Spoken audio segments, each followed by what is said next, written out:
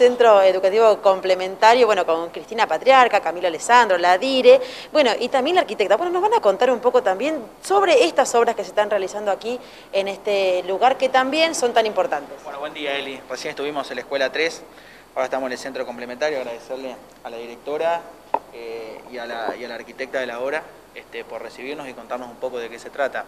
Eh, ha sido un año, un año excepcional, como recién decíamos, este, donde las escuelas están vacías de alumnos, pero tratamos de que estén llenas de obras y sumar un granito de arena al trabajo que hacen las directoras y los docentes todos los días, que con esto de la virtualidad ha cambiado este, muchísimo y se nos ha dificultado a todos este, en todos los aspectos, pero el aprendizaje y la educación siguieron llegando este, no en las aulas, pero sí estuvieron en las casas. Así que eh, sumar un granito de arena al trabajo que hacen ellas todos los días eh, y seguir trabajando, seguir trabajando y empujando con la directora de educación para que las escuelas, cuando arranquen las clases, que será el año que viene, será en marzo, este, un poco, un poco eh, seguir empujando para que cuando arranquen estén las mejores condiciones brindadas y arranquen este, con, la, con la mejora. Así que, Cristina, quieren contar un poco de qué se trata la obra. Bueno, Cristina como directora de educación siempre haciendo estas gestiones que son tan importantes, ¿verdad? Porque realmente, como decía Camilo, hay que arrancar y hay que arrancar en, las mejores condiciones para estos chicos que este año lamentablemente no pudieron disfrutar de las instalaciones. Bueno, buenos días a todos. Eh, la verdad es que hoy nos encontramos aquí en el centro educativo para la gestión Alessandro, este municipio de Salto y nuestro intendente Ricardo Alessandro, es muy, importante la inversión en infraestructura escolar eh, que se realiza porque consideramos como prioridad el bienestar de nuestros alumnos. Entonces estamos aquí eh, celebrando que hoy se está haciendo el reacondicionamiento y refacción completo de los módulos sanitarios de varones y niñas y lo que son los tanques cisternas y la instalación eléctrica. Eh, esta obra bueno, es una obra importante de dos millones y medio de pesos, eh, donde la verdad hemos podido brindar calidad a un problema sanitario que había en la institución y que generaba un montón de trastornos para el hacer diario. Eh, bueno, dentro del programa Haciendo Escuelas es una obra más y una alegría dentro de este municipio poder estar aquí.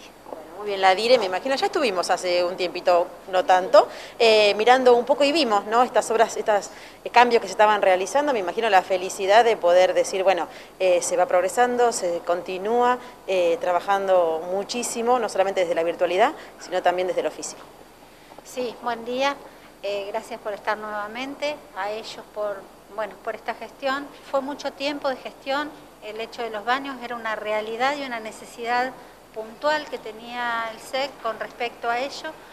Eh, si bien este, teníamos y, éramos conscientes de que se gastó en, el último tiempo muchísimo dinero en, en, cómo, en el estado en que estaban los baños, hoy el hecho de la pandemia nos ayuda a que podamos hacerlos tranquilos, con tiempo, eh, con la gente trabajando en, forma impecable, así que también agradecerles por, el apoyo y por nada, la prolijidad con que han trabajado en la obra, que a veces no se dicen porque siempre vemos lo que nos incomoda.